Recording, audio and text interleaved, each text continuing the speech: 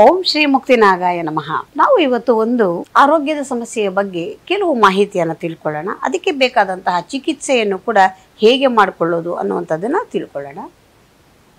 ಈ ಸೋರಿಯಾಸಿಸ್ ಅನ್ನುವಂತಹ ಒಂದು ಚರ್ಮದ ರೋಗಕ್ಕೆ ಸಾಕಷ್ಟು ಜನ ತುತ್ತಾಗಿ ಬಳಲ್ತಾ ಇರ್ತಾರೆ.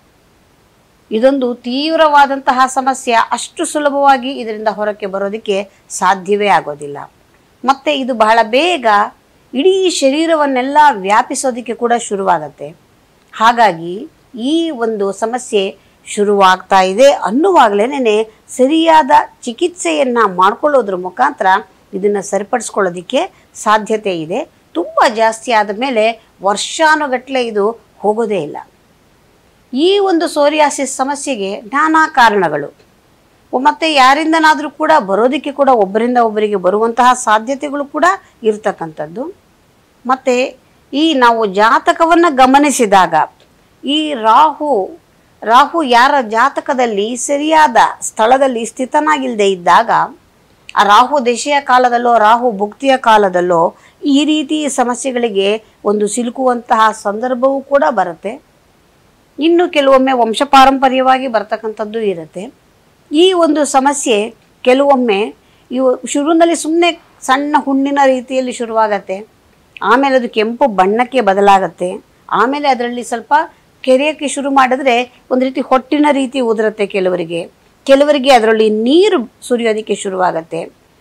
ಈ ರೀತಿ ಒಬ್ಬೊಬ್ಬರಿಗೆ ಒಂದೊಂದು ರೀತಿಯಲ್ಲಿ ಕಾಣಿಸ್ಕೊಳ್ತಕ್ಕಂತಹ ಈ ಸೋರಿಯಾಸಿಸ್ ಅನ್ನುವಂತಹ ಸಮಸ್ಯೆಗೆ ಮನೆಯಲ್ಲಿ ಮಾಡ್ಕೊಳ್ತಕ್ಕಂತಹ ಚಿಕಿತ್ಸೆಗಳು ಕೂಡ ಇದೆ. ಸರಿಯಾಗಿ ನಾವು ಪ್ರಾರಂಭದಿಂದ ಶುರು ಮಾಡಿದ್ದೆ ಆದರೆ ಸುಲಭವಾಗಿ ಇದನ್ನು ಹೋಗಲಾಡಿಸ್ಕೊಳ್ಳೋದಕ್ಕೆ ಸಾಧ್ಯ ಆಗತ್ತೆ. ತುಂಬ ಜನ ಕೇಳ್ತಾ ಇರ್ತಾರೆ ಇದಕ್ಕೇನಾದರೂ ಹೇಳಿಮ್ಮ ಇದಕ್ಕೇನಾದರೂ ಹೇಳಿ ಅಂತ. ಆದರೆ ನಮ್ಮಲ್ಲಿಗೆ ಬರುವವರ ಹತ್ರ ನಾವು ಸಾಕಷ್ಟು ತುಂಬ ತೀವ್ರದ ಸಮಸ್ಯೆ ಇದ್ದವರಿಗೆ ಕೂಡ ಅನೇಕ ಜನರಿಗೆ ಚಿಕಿತ್ಸೆಯನ್ನು ಮಾಡಿ ಸಂಪೂರ್ಣ ಗುಣಮುಖರಾಗಿರತಕ್ಕಂತಹ ಅನೇಕ ನಿದರ್ಶನಗಳು ಇದೆ.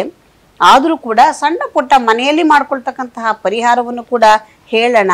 ಅದನ್ನು ಮಾಡ್ಕೊಳ್ತಾ ಬನ್ನಿ. ಪ್ರಾರಂಭಿಕ ಹಂತದಲ್ಲಿ ಇದ್ದದ್ದೇ ಆದರೆ ಆ ಒಂದು ಚಿಕಿತ್ಸೆಗೆ ಅದು ಫಲಕಾರಿಯಾಗುವಂತಹ ಸಾಧ್ಯತೆಗಳು ಖಂಡಿತ ಇರುತ್ತೆ. ಇದಕ್ಕೆ ಏನು ಮಾಡಬೇಕಂದ್ರೆ ಒಂದು ಎರಡು ಮೂರು ಚಿಕಿತ್ಸೆಯನ್ನು ಹೇಳ್ತೀನಿ. ಯಾವುದು ಯಾರಿಗೆ ಅನುಕೂಲವೋ ಅದನ್ನು ಮಾಡಿಕೊಳ್ಳಿ. ತುಂಬ ಸರಳವಾದದ್ದು ಅಂದರೆ ಗರಿಕೆ ಹುಲ್ಲು. ಎಲ್ಲರಿಗೂ ಎಲ್ಲ ಭಾಗದಲ್ಲಿಯೂ ಸಿಗ್ತಕ್ಕಂಥದ್ದು. ಈ ಗರಿಕೆ ಹುಲ್ಲನ್ನು ಚೆನ್ನಾಗಿ ಎರಡು ಮೂರು ಬಾರಿ ತೊಳೆದು ಜಜ್ಜಿ ರಸವನ್ನು ತೆಕ್ಕೋಬೇಕು. ಈ ರಸವನ್ನು ಶೋಧಿಸಿಕೊಂಡು ಈ ಒಂದು ಪ್ರಮಾಣದ ಅಂದರೆ ಒಂದು ಲೋಟದಷ್ಟು ರಸ ಇದ್ದದ್ದೇ ಆದರೆ ಅದಕ್ಕೆ ಒಂದು ಅರ್ಧ ಲೋಟದಷ್ಟು ಕೊಬ್ಬರಿ ಎಣ್ಣೆಯನ್ನು ಮಿಶ್ರಣವನ್ನು ಮಾಡಿ ಒಲೆಯ ಮೇಲಿಟ್ಟು ಸಣ್ಣ ಉರಿಯಲ್ಲಿ ಅದನ್ನು ಇಡಬೇಕು. ಅದು ಚೆನ್ನಾಗಿ ಕುದ್ದು ಕುದ್ದು ಕುದ್ದು ಅದರಲ್ಲಿರೋ ನೀರಿನ ಅಂಶ ಅಷ್ಟು ಇಂಗಿ ಹೋಗಿ ಕೇವಲ ನಾವು ಕೊಬ್ಬರಿ ಎಣ್ಣೆ ಎಷ್ಟು ಹಾಕಿದ್ವಿ ಅಷ್ಟು ಮಾತ್ರ ಉಳಿಯೋವರೆಗೆ ಇದನ್ನು ಇಂಗಿಸ್ಬೇಕು.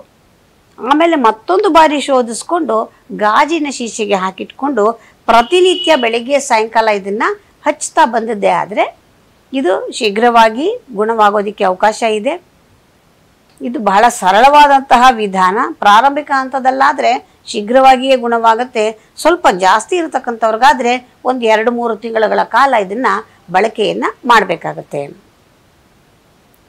ಇನ್ನು ತೇಗದ ಎಲೆ, ತೇಗದ ಮರ ಟೀಕುಡ್ ಅಂತ ಏನು ಕರಿತೀವಿ? ಈ ತೇಗದ ಮರದ ಎಲೆ ಯಾರಿಗಾದರೂ ಸಿಕ್ಕುವಂತಿದ್ದರೆ ಈ ಮರ ಯಾರಿಗಾದರೂ ಗುರುತಿಸೋದಕ್ಕೆ ಸಾಧ್ಯವಿದ್ದಾಗ ಇದು ಸ್ವಲ್ಪ ಹೆಚ್ಚಿನ ಪ್ರಮಾಣದಲ್ಲಿ ಅನುಕೂಲವನ್ನು ಮಾಡಿಕೊಡ್ತಕ್ಕಂಥದ್ದು. ಹಾಗಾಗಿ ಈ ತೇಗದ ಎಲೆಯನ್ನು ಸಂಗ್ರಹ ಮಾಡಿಕೊಳ್ಳಿ. ಪ್ರತಿ ಸಲ ಹುಡ್ಕೊಂಡು ಹೋಗೋದು ಬೇಡ, ಒಂದೇ ಸಲ ಒಂದಷ್ಟು ಎಲೆಯನ್ನು ತಂದು ಸ್ವಲ್ಪ ಚೆನ್ನಾಗಿ ಅದನ್ನು ಒಣಗಿಸ್ಕೊಳ್ಳಿ. ಒಣಗಿಸಿ ತರಿತರಿಯಾಗಿ ಇದನ್ನು ಪುಡಿಯನ್ನು ಮಾಡಿ ತೆಗೆದಿಟ್ಕೊಳ್ಬೇಕು. ತೆಗೆದಿಟ್ಕೊಂಡಿದ್ದು ಈ ಒಂದು ಪುಡಿಯನ್ನು ಒಂದು ಲೋಟದಷ್ಟು ನೀರಿಗೆ, ಒಂದು ದೊಡ್ಡ ಚಮಚದಷ್ಟು ಪುಡಿಯನ್ನು ಹಾಕಿ ಒಲೆಯ ಮೇಲಿಟ್ಟು ಸಣ್ಣ ಉರಿಯಲ್ಲಿ ಚೆನ್ನಾಗಿ ಕುದಿಸ್ಕೊಳ್ಬೇಕು. ಇದನ್ನು ಕಷಾಯದ ರೂಪದಲ್ಲಿ ಮಾಡಿಕೊಳ್ಳುವಂಥದ್ದು. ಇದನ್ನು ಶೋಧಿಸಿಟ್ಕೊಂಡು ಇದನ್ನು ಬೇಕಾದರೆ ನಾವು ಇದಕ್ಕೆ ಹಾಲು, ಸಕ್ಕರೆ ಅಥವಾ ಬೆಲ್ಲ ಏನನ್ನಾದರೂ ಹಾಕ್ಕೊಂಡು ಬೇಕಾದರೂ ಸೇವನೆ ಮಾಡಬಹುದು. ಹಾಗೆ ಬೇಕಾದರೂ ಕೂಡ ಸೇವನೆಯನ್ನು ಮಾಡಬಹುದಾಗಿದೆ. ಇದನ್ನು ಬರೀ ಹೊಟ್ಟೆಯಲ್ಲಿ ನಾವು ಬೆಳಗ್ಗೆ ಅಂದರೆ ತಿಂಡಿ ತಿನ್ನೋದಕ್ಕೆ ಮುಂಚೆ ಇದನ್ನು ಸೇವನೆ ಮಾಡಿ ಹತ್ತು ನಿಮಿಷದ ನಂತರದಲ್ಲಿ ಬೇಕಾದರೆ ಉಪಹಾರವನ್ನು ಮಾಡಿಕೊಳ್ಬಹುದು. ಈ ರೀತಿ ಪ್ರತಿನಿತ್ಯ ಸತತವಾಗಿ ಈ ಒಂದು ಕಷಾಯವನ್ನು ಕುಡಿತಾ ಬರೋದ್ರಿಂದನೇ ಈ ಸಮಸ್ಯೆ ಸ್ವಲ್ಪ ಹತೋಟಿಗೆ ಬರೋದಕ್ಕೆ ಸಾಧ್ಯವಾಗತ್ತೆ. ತೇಗದ ಎಲೆ ಎಲ್ಲರಿಗೂ ಸಿಕ್ಕೋದು ಕಷ್ಟ ಆಗ್ಬೋದು ಸಿಕ್ಕಂಥವರು ಇದನ್ನು ಮಾಡ್ಕೊಳ್ಬಹುದಾಗಿದೆ. ಇನ್ನು ನಸಗುನ್ನಿಕಾಯಿ ಅಂತ ಸಿಕ್ಕತ್ತೆ. ನಿಮಗೆ ಇದು ಗ್ರಂಥಿಗೆ ಅಂಗಡಿಗಳಲ್ಲಿ ಸುಲಭವಾಗಿ ಸಿಕ್ಕುವಂಥದ್ದು. ಈ ನಸಗುನ್ನಿಕಾಯಿಯನ್ನು ತಂದಿಟ್ಕೊಳ್ಳಿ. ಇದನ್ನು ಕೂಡ ತರ್ತರಿಯಾಗಿ ಸ್ವಲ್ಪ ಪುಡಿಯನ್ನು ಮಾಡಿಟ್ಕೊಂಡು, ಈ ಪುಡಿಯನ್ನು ಕೂಡ ನೀರಿನಲ್ಲಿ ಹಾಕಿ ಕುದಿಸಿ ಕಷಾಯವನ್ನು ಮಾಡಿಕೊಂಡು ಪ್ರತಿನಿತ್ಯದಲ್ಲಿ ಸೇವನೆಯನ್ನು ಮಾಡ್ತಾ ಬಂದಿದ್ದೆ. ಆದರೆ ಇದರಿಂದನೂ ಕೂಡ ಇದು ಶೀಘ್ರವಾಗಿ ನಮಗೆ ಗುಣವಾಗೋದಕ್ಕೆ ಸಹಾಯ ಆಗುತ್ತೆ. ಆದರೆ ಶೀಘ್ರವಾಗಿ ಅಂತ ನಾನು ಹೇಳೋದು ಕೇವಲ ಪ್ರಾರಂಭಿಕ ಹಂತದಲ್ಲಿ ಇದ್ದವರಿಗೆ ಸ್ವಲ್ಪ ಜಾಸ್ತಿಯಾಗಿಯೇ ಇತ್ತು ಅಂದರೆ ನೀವು ಬೇರೆ ಏನಾದರೂ ಚಿಕಿತ್ಸೆಯನ್ನು ಮಾಡ್ಕೊಳ್ತಿರ್ತೀರಲ್ಲ, ಅದರ ಜೊತೆ ಜೊತೆಯಲ್ಲಿ ಇದನ್ನು ಸೇವನೆ ಮಾಡೋದ್ರಿಂದ ಸ್ವಲ್ಪ ನಿಮಗೆ ಅನುಕೂಲ ಆಗೋದಕ್ಕೆ ಸಾಧ್ಯತೆ ಇರುತ್ತೆ. ಇನ್ನು ಈ ಮನೆಯಲ್ಲಿ ನಾವು ಅಡುಗೆಗೆ ಬಳಸ್ತಕ್ಕಂತಹ ಧನಿಯಾ ಅಥವಾ ಕೊತ್ತಂಬರಿ ಬೀಜ. ಈ ಕೊತ್ತಂಬರಿ ಬೀಜದ ಶೀತ ಕಷಾಯ ಅಂತ ಹೇಳ್ತೀವಿ. ಈ ಶೀತ ಕಷಾಯ ಹೇಗೆ ಮಾಡೋದು ಅಂದರೆ, ಈ ಒಂದು ಕೊತ್ತಂಬರಿ ಬೀಜವನ್ನು ಒಂದು ಎರಡು ಚಮಚದಷ್ಟು ಒಂದು ಲೋಟ ನೀರಿಗೆ ಹಾಕಿ, ನೆನೆ ಹಾಕಿ ರಾತ್ರಿ ಮುಚ್ಚಿಟ್ಬಿಡಬೇಕು. ಬೆಳಿಗ್ಗೆ ಎದ್ದು ಇದನ್ನು ಚೆನ್ನಾಗಿ ಕೈಯಲ್ಲಿ ಕಿವುಚ್ಕೊಳ್ಬೇಕು. ಕಿವುಚ್ಬಿಟ್ಟು ಶೋಧಿಸಿಕೊಂಡು ಕೇವಲ ಆ ನೀರನ್ನು ಮಾತ್ರ ಶೋಧಿಸಿದ ನೀರನ್ನು ಕುಡಿಬೇಕು. ಈ ರೀತಿ ಪ್ರತಿದಿನ ಬರೀ ಹೊಟ್ಟೆಯಲ್ಲಿ ಸೇವನೆ ಮಾಡ್ತಾ ಬಂದಿದ್ದೇ ಆದರೆ ಈ ರೀತಿ ಸಮಸ್ಯೆಗೂ ಅನುಕೂಲ ಆಗತ್ತೆ ಅಥವಾ ಚರ್ಮದ ಇನ್ಯಾವುದಾದರೂ ಬೇರೆಯ ಸಮಸ್ಯೆಗಳಿದ್ದು ಮೈಕೈಯಲ್ಲಿ ನೆವೆ ಆಗ್ತಕ್ಕಂಥದ್ದು, ಬೇರೆ ಏನಾದರೂ ಕೂಡ ಎಕ್ಸಿಮಾ ಈ ಥರದ್ದೆಲ್ಲ ಇದ್ದಾಗ ಕೂಡ ಇದ್ರೂ ಒಳ್ಳೆಯ ಒಂದು ಪರಿಣಾಮಕಾರಿಯಾಗಿ ನಮಗೆ ಸಹಾಯವನ್ನು ಮಾಡುತ್ತೆ. ಈ ರೀತಿ ಸಣ್ಣ ಪುಟ್ಟ ಚಿಕಿತ್ಸೆಗಳನ್ನು ಮನೆಯಲ್ಲಿ ಮಾಡ್ಕೊಳ್ಳೋದ್ರ ಮುಖಾಂತರ ಸಮಸ್ಯೆ ತೀವ್ರ ಆಗದೇ ಇರೋ ರೀತಿಯಲ್ಲಿ ಕೂಡ ನೋಡ್ಕೊಳ್ಳೋದಕ್ಕೆ ಸಾಧ್ಯವಾಗತ್ತೆ. ಅಷ್ಟೇ ಅಲ್ಲ ಇದರ ಜೊತೆ ಜೊತೆಯಲ್ಲಿ ನಾವು ಇನ್ನು ಕೆಲವು ಅಂಶಗಳನ್ನು ಗಮನಿಸ್ಕೋಬೇಕು. ಈ ರೀತಿ ಸಮಸ್ಯೆ ಇದ್ದಂಥವರು ಏನು ಆಹಾರವನ್ನು ತಿನ್ನಬಾರದು ಅನ್ನೋದನ್ನು ಕೂಡ ಗಮನ ಇಟ್ಕೋಬೇಕು. ನೋಡಿ, ಈ ಥರ ಚರ್ಮದ ಬಾಧೆ ಇದ್ದಂಥವರು ಹೆಚ್ಚಿನ ಹುಳಿಯ ಪದಾರ್ಥವನ್ನು ತಿನ್ನಬಾರ್ದು ಹುಣಸೆ ಹಣ್ಣಿನಿಂದ ಮಾಡಿರ್ತಕ್ಕಂಥ ಅಂದರೆ ಹೆಚ್ಚು ಹುಣಸೆ ಹಣ್ಣು. ಹುಣಸೆ ಹಣ್ಣಲ್ಲಿ ಕೂಡ ಹೊಸ ಹುಣಸೆ ಹಣ್ಣನ್ನು ಅವರು ತ್ಯಜಿಸಬೇಕಾಗತ್ತೆ. ಹಳೆ ಹುಣಸೆ ಹಣ್ಣನ್ನು ಉಪಯೋಗವನ್ನು ಮಾಡ್ಕೊಳ್ಬಹುದಾಗಿದೆ. ಮತ್ತು ಹುಳಿ ಪದಾರ್ಥವನ್ನು ಸ್ವಲ್ಪ ಕಡಿಮೆ ಮಾಡಬೇಕು. ಕಡೆದ ಮಜ್ಜಿಗೆಯನ್ನು, ತುಪ್ಪವನ್ನು ಎಲ್ಲ ಬಳಸಬಹುದಾಗಿದೆ.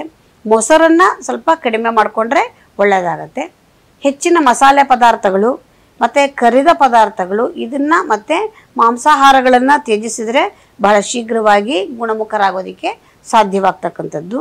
ಇನ್ನು ತರಕಾರಿಗಳಲ್ಲಿ ಸಾಧಾರಣವಾಗಿ ನಾವು ಈ ಕುಂಬಳಕಾಯಿ ಇರಬಹುದು, ಹೀರೆಕಾಯಿ, ಸೌತೆಕಾಯಿ, ಈ ತರಹ ಎಲ್ಲ ತರಕಾರಿಗಳನ್ನು ಕೂಡ ಯಥೇಚ್ಛವಾಗಿ ಸೇವನೆಯನ್ನು ಮಾಡಬಹುದಾಗಿದೆ. ಮತ್ತು ಈ ರೀತಿ ಸಮಸ್ಯೆ ಇರ್ತಕ್ಕಂಥವ್ರು ಹೆಚ್ಚಿನ ಬಿಸಿಲಿನ ಇರುವಾಗ ಆಚೆ ಕಡೆ ಓಡಾಡೋದು ಬೇಡ.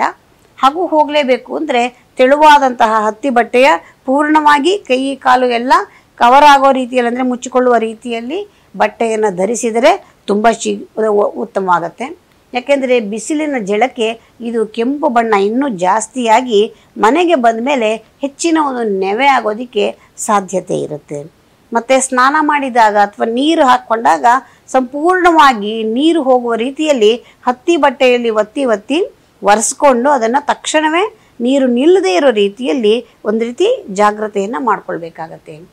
ಈ ರೀತಿ ಕೆಲವೊಂದು ಅಂಶಗಳನ್ನು ಸರಿಯಾದ ಗಮನದಲ್ಲಿಟ್ಕೊಂಡು ನಾವು ಚಿಕಿತ್ಸೆಯನ್ನು ಜೊತೆ ಜೊತೆಯಲ್ಲಿ ಮಾಡ್ಕೊಳ್ತಾ ಬಂದಿದ್ದೆ ಆದರೆ ಈ ಸಮಸ್ಯೆಗಳನ್ನು ಸುಲಭವಾಗಿ ಪರಿಹರಿಸ್ಕೊಳ್ಳೋದಕ್ಕೆ ಸಾಧ್ಯವಾಗತ್ತೆ. ಮತ್ತೊಂದು ಸಮಸ್ಯೆಗೆ ಪರಿಹಾರವನ್ನು ಮತ್ತೊಂದು ಸಂಚಿಕೆಯಲ್ಲಿ ಹೇಳೋಣ. ಅಷ್ಟೇ ಅಲ್ಲ, ಈ ನಮ್ಮ ವಿಡಿಯೋ ನಿಮ್ಗೆ ಇಷ್ಟ ಆಗ್ತಾ ಇದೆ ಅಂದರೆ ಬೇರೆಯವ್ರಿಗೂ ಶೇರ್ ಮಾಡಿ, ಸಬ್ಸ್ಕ್ರೈಬ್ ಮಾಡ್ಕೊಳ್ಳಿ. ಎಲ್ರಿಗೂ ಕೂಡ ಉತ್ತಮವಾದಂತಹ ಸಲಹೆಗಳು ಸಿಕ್ಕೋದಕ್ಕೆ ಅವಕಾಶ ಆಗತ್ತೆ. ನಮಸ್ತೆ.